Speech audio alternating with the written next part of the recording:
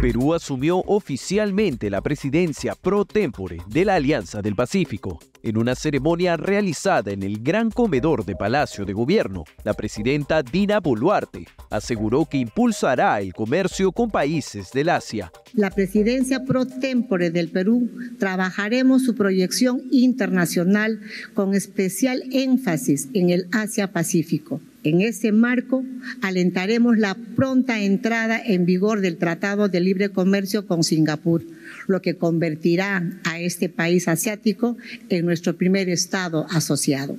Asimismo, promoveremos el inicio de la negociación de un tratado de libre comercio con la República de Corea, la mandataria destacó los logros de este bloque e indicó que en el 2024 Perú liderará el foro APEC, lo cual fortalecerá los lazos entre la Alianza del Pacífico y la región de Asia-Pacífico.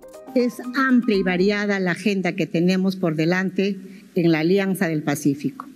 Estoy convencida que priorizando el trabajo sustantivo y técnico de este mecanismo, podremos alcanzar las metas descritas y otras muchas más ambiciosas por el bienestar de nuestros pueblos. Prometió que trabajarán para dar mayores oportunidades a las micro, pequeñas y medianas empresas hacia el mercado extranjero.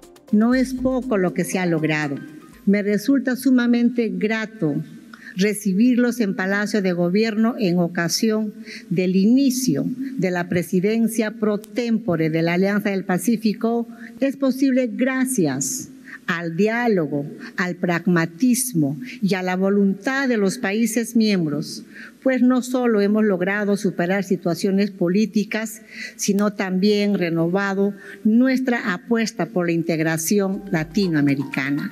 Como se recuerda, el pasado 2 de agosto, la canciller Ana Gervasi viajó a Chile, donde recibió la presidencia pro tempore de la Alianza del Pacífico de su par chileno.